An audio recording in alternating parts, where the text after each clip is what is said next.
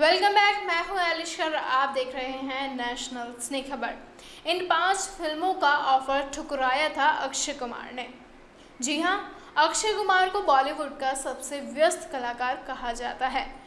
अक्षय कुमार ही साल भर में सबसे ज़्यादा फ़िल्में करते हैं। अक्षय कुमार ने अपने करियर में कई बड़े फ़िल्मों को रिजेक्ट भी किया है।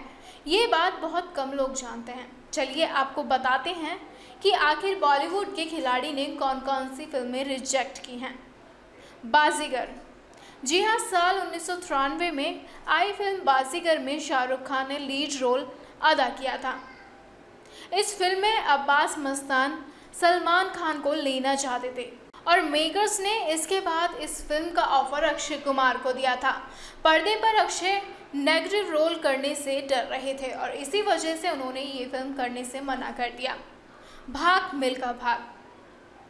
इस फ़िल्म में फरहान अख्तर ने लीड रोल अदा किया था। पहली पसंद मेकर्स के अक्षय कुमार थे।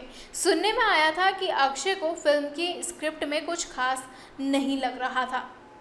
रेस। अक्षय ने अब्बास मस्तान की इस फ़िल्म का ऑफ़र भी ठुकरा दिया था। बाद में इस फ़िल्म में सैफ अली खान ने लीड रोल अदा किया था। Hollywood films. जी हाँ अक्षय कुमार को ड्वेन जॉनसन संग एक फ़िल्म करने का ऑफ़र मिला था। अक्षय कुमार ने एक हॉलीवुड फ़िल्म भी करने से मना कर दिया था। रेडी। मेकर्स ने अक्षय कुमार को इस फ़िल्म के सुपरहिट गाने, कैरेक्टर ढीला है को करने के लिए अप्रोच किया था। अक्षय ने ये गाना करने से भी मना कर दिया था। तो आप सभी हमारे साथ ऐसे ही जुड़े रहिए और भी जानकारियों को जानने के लिए। धन्यवाद। हमसे जुड़े रहने के लिए सब्सक्राइब करें यूट्यूब पर फॉलो करें ट्विटर और इंस्टाग्राम पर लाइक करें फेसबुक पर और ज़्यादा जानकारी के लिए नेशनल खबर की वेबसाइट पर जाएँ। आपको टाइप करना होगा सिर्फ़ नेशनल खबर